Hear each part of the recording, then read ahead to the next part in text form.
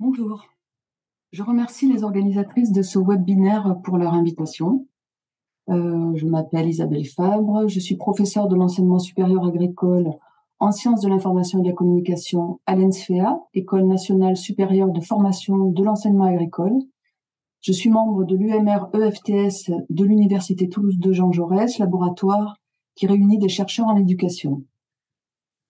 Mes travaux de recherche interrogent les manières d'habiter les espaces de différents lieux de savoir et de culture, et je m'intéresse plus particulièrement à l'ordinaire des pratiques et des usages de ces espaces et au rôle de la documentation et de la culture dans l'émancipation des professionnels et des publics dans des contextes de changement. Je travaille à ces thématiques dans l'accompagnement de doctorants et par ailleurs avec des enseignants stagiaires et des conseillers principaux d'éducation stagiaires, ainsi que des étudiants de master MEF, métier de l'enseignement, de l'éducation et de la formation, dans le cadre d'un séminaire d'initiation à la recherche.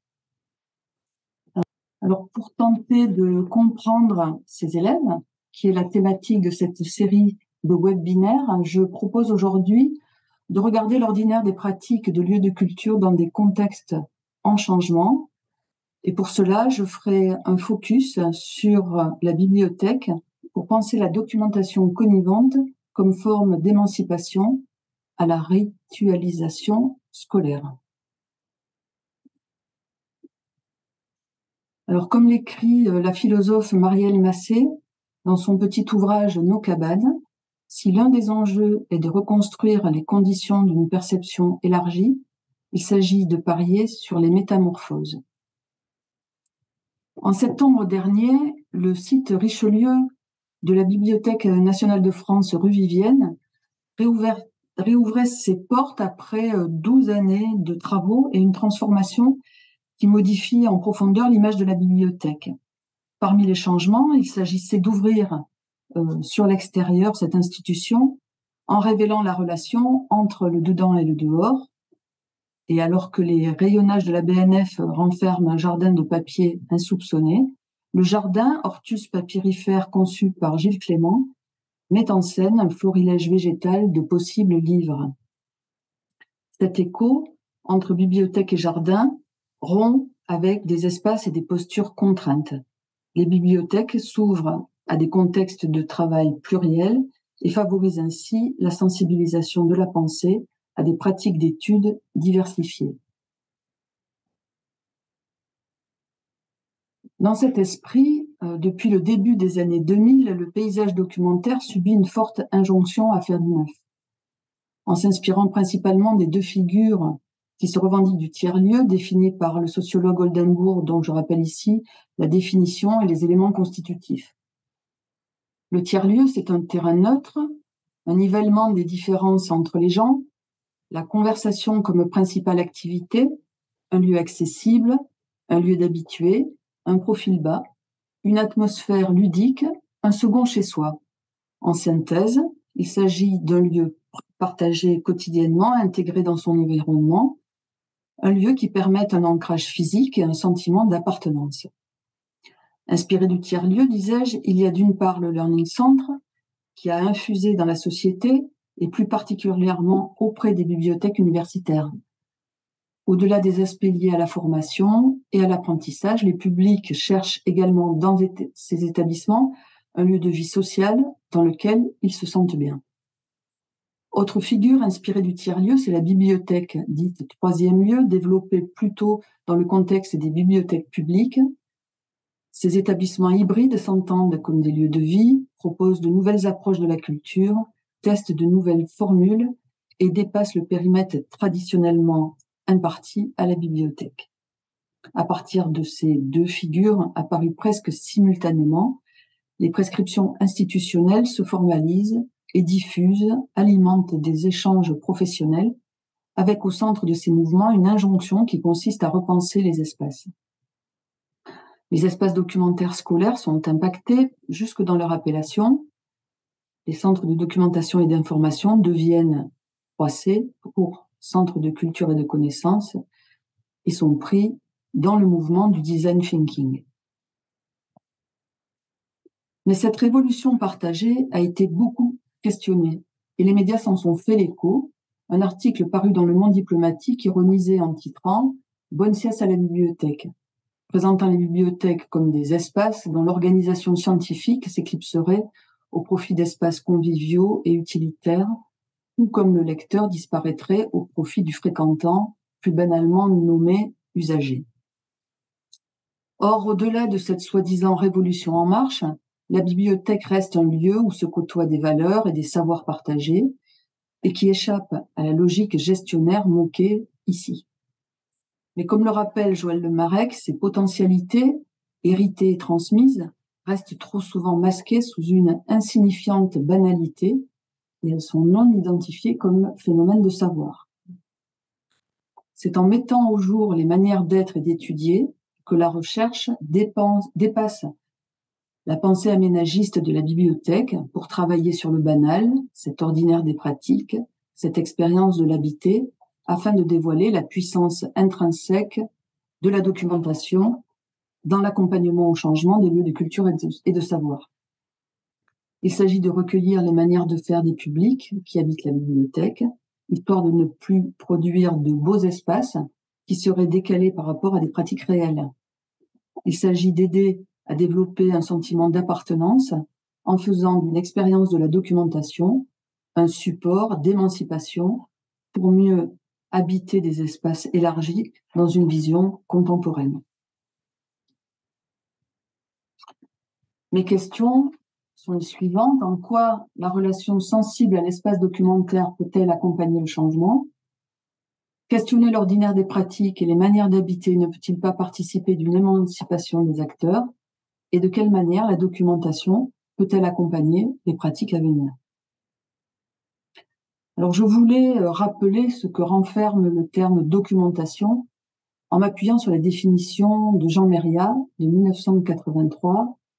La documentation, c'est à la fois un ensemble de documents pouvant servir de preuve, un travail par lequel on rassemble, on ordonne, on rend utilisable cette matière documentaire, une profession impliquant une attitude intellectuelle, un certain regard sur le monde et un ensemble des connaissances appliquées et même fondamentales qui inspirent les pratiques documentaires, c'est-à-dire une discipline scientifique, les sciences de l'information et de la communication.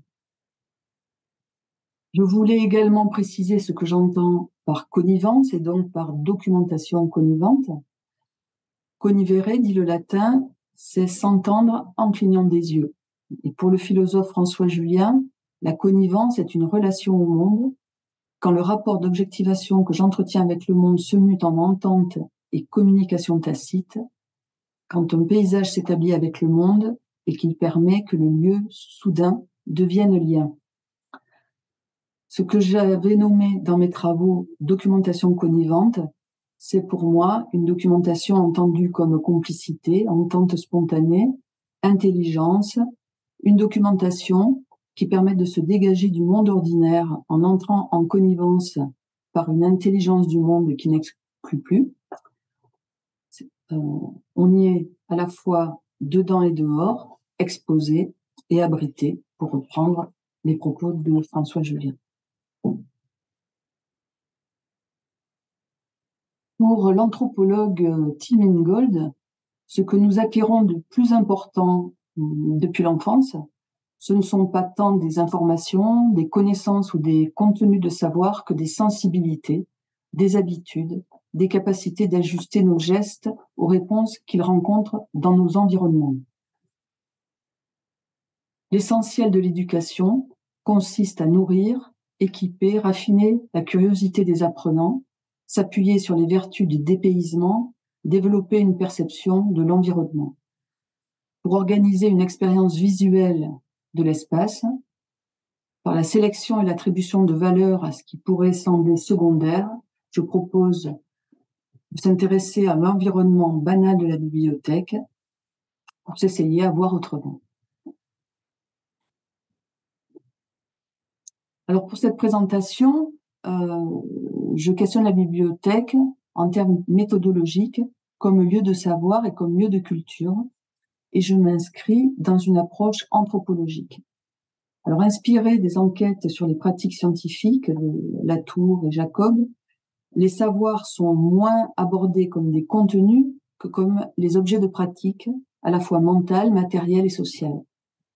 Je m'inspire également de l'infraordinaire de Pérec en tentant d'épuiser les lieux documentaires, en observant les manières dont ils sont habités, en analysant les dispositifs qui les constituent et en questionnant la vision des acteurs qui participent de la création du lieu ou de sa mise en scène.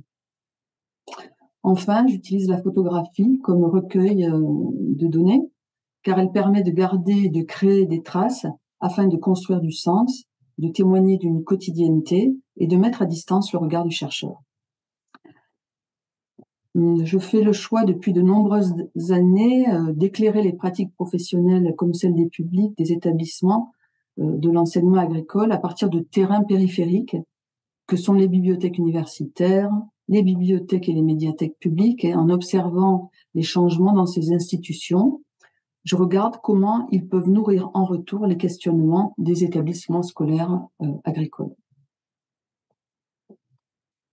Alors, je voulais partager avec vous quelques-unes des manières d'habiter euh, la bibliothèque que j'ai pu observer et que j'enrichis d'éléments issus de travaux en sciences de l'information et de la communication, mais aussi des écrits de géographes, d'anthropologues et de philosophes.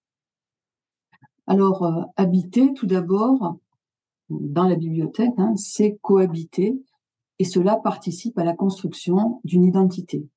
Les publics des lieux de culture font une expérience de soi et des autres. Dans ce voisinage, ce qui importe, c'est de voir les autres étudier et en miroir, s'y voir en train d'étudier.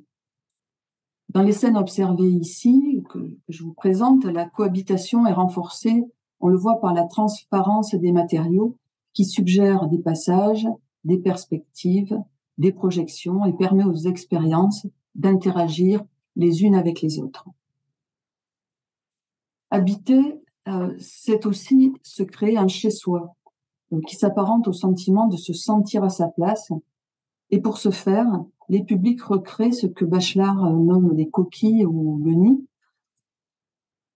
On, on ressent alors un sentiment d'appartenance ce lieu est à nous parce qu'on est à lui. Il fait partie de nous parce qu'il fait, parce qu'on fait partie de lui. Donc, vous pouvez remarquer ici euh, des, postures, euh, voilà, qui à être comme chez soi. Habiter, euh, c'est s'approprier l'espace pour le faire sien. Il y a ici des marques, des marquages qui lui confèrent les qualités d'un lieu là aussi personnel.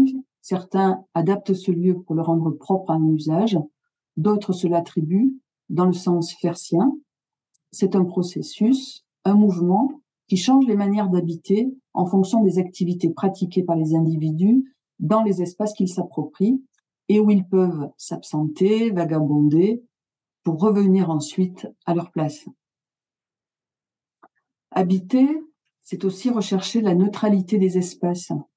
Car à la différence de certains qui cherchent à faire des lieux à soi, il y a des espaces dont la neutralité peut alléger, permettre de se décentrer, comme par exemple les lieux de passage, un endroit où l'on ne soit pas, où l'on serait en vacances de soi. Les publics alors s'installent dans les halls, les couloirs, les escaliers, des lieux de savoir et de culture. Enfin, habiter, c'est accéder à un horizon, c'est créer des perspectives, accéder à une vue. Pour d'autres, il s'agit de rechercher dans un, dans un lieu un espace qui offre un horizon.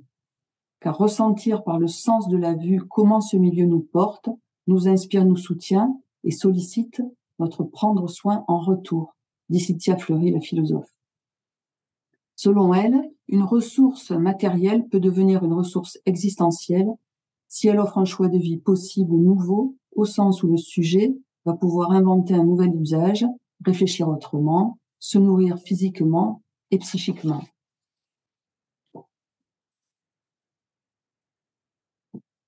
Ainsi, accéder à une vue dans l'espace privé ou l'espace public est une nécessité journalière, écrit-elle en 2022.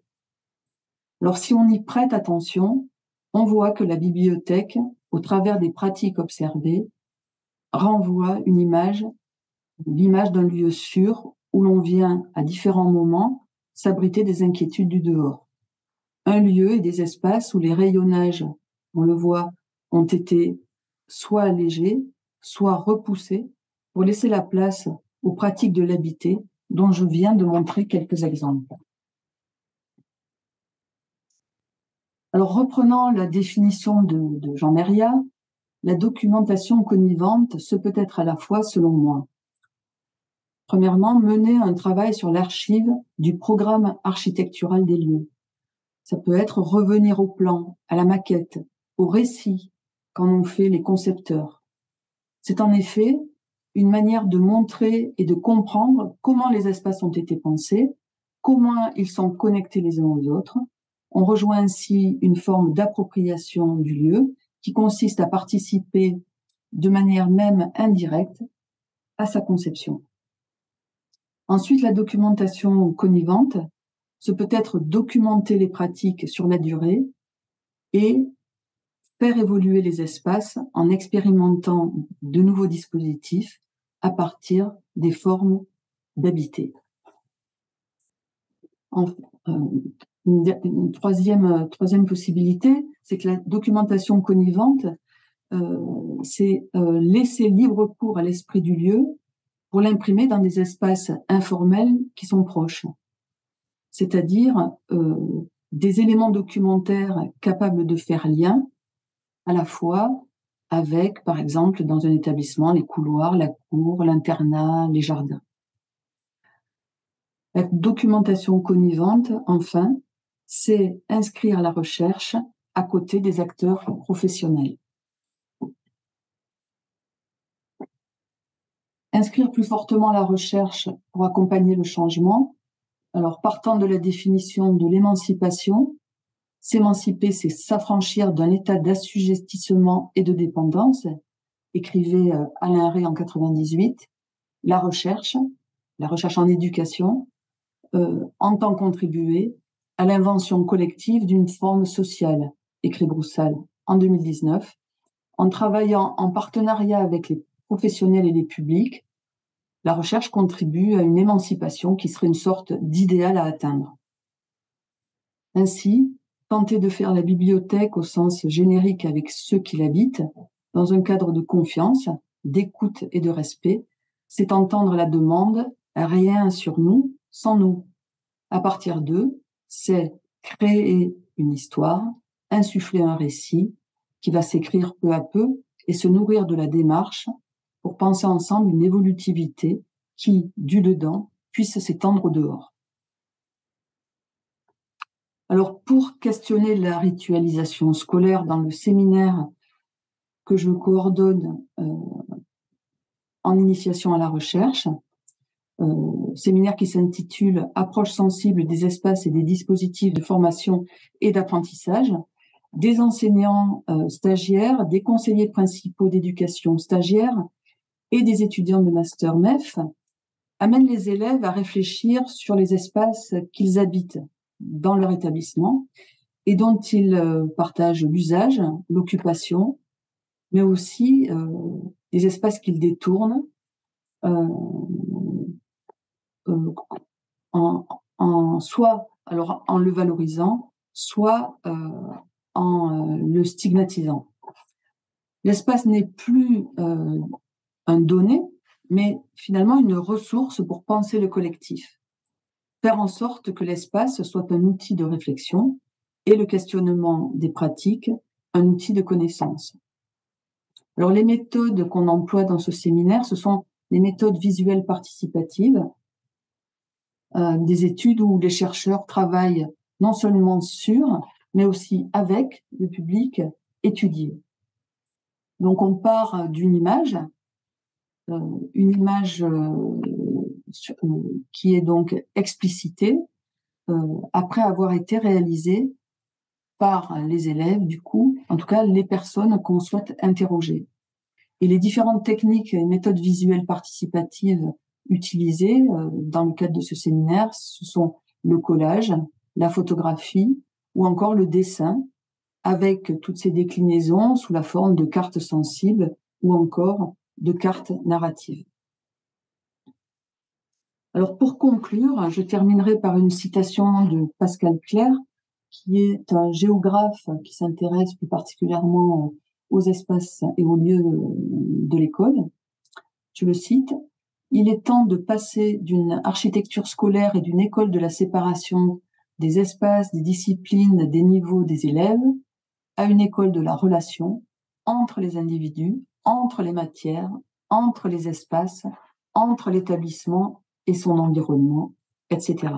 C'est un, article qui était paru dans Le Monde en mai 2021. Alors la documentation, au sens défini au début de mon intervention, apparaît alors comme outil de questionnement du monde. Comprendre ses élèves, ce peut être s'appuyer sur la documentation pour développer un art de l'attention, sur les pratiques qui permettent au public, des lieux de culture et de savoir, de questionner à leur tour leur manière d'habiter. La documentation, outil de connivence, suggère une forme d'émancipation, permettant une expérience partagée entre le public et les concepteurs comme constitutive d'une attention au monde. Alors, je voulais vous montrer euh, les, ouvrages euh, principaux euh, à partir desquels je me suis nourrie pour cette présentation. je vous livre également une bibliographie indicative plus complète. Euh, et euh, je vous renvoie, si vous le, souhaitez, aux travaux récents que j'ai pu euh, rédiger ou communiquer sur cette thématique. Voilà, je vous remercie beaucoup pour votre écoute et je vous donne rendez-vous, si vous le souhaitez, pour vous entendre à mon tour et échanger avec vous sur ce sujet. À très bientôt, j'espère. Au revoir.